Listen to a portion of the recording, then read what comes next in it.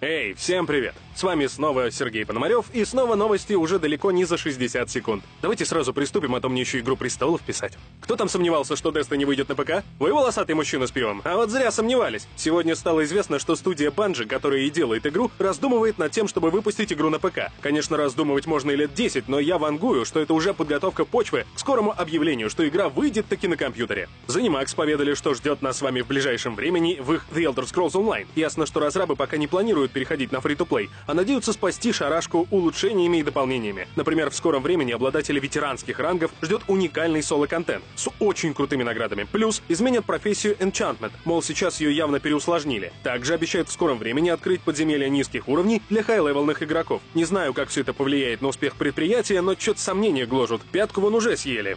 У Star Trek Online, похоже, скоро появится конкурент. Endgames беспалевно так заявила, что готовит свою ММО на эту тему. Деталей мало. Известно лишь, что Федерация и Клингоны будут воевать с какой-то новой неизвестной ранее цивилизацией. Сколько же можно-то уже? Для этого нужно собрать флот, людей, ну и все в таком же духе. По словам разработчиков, упор в новой игре будет сделан на космические сражения. Разрабы World of Speed рассказали, что в их новой онлайновой гонке будет гора тюнинга всякого. Если вам нужно херануть с дикой скоростью, купите себе мотор помощнее. Хочется красиво дрифтовать, покопайтесь в подвеске и резине. Кроме того, каждый сможет заточить внешний вид авто по своему вкусу. Причем, говорят, все эти плюшки будут не за донат, вот так вот. Ну что ж, а теперь нырнем в оффлайновый мир.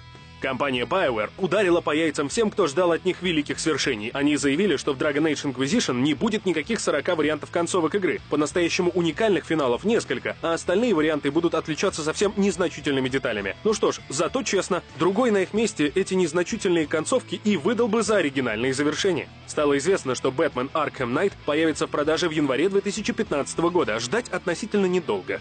Electronic Arts отмела мысль о том, что сериал Battlefield станет ежегодной дойной коровой. Патрик Содерлунд, вице-президент EA Studios, так и сказал «Не переживайте». А скорый выход Hardline ни о чем не говорит, мол, идею подобной игры DICE вынашивали давно, так почему бы и не выпустить, и в дальнейшем новые части сериала будут выходить строго качественными, креативными и вообще никаких привязок к срокам. Ну да.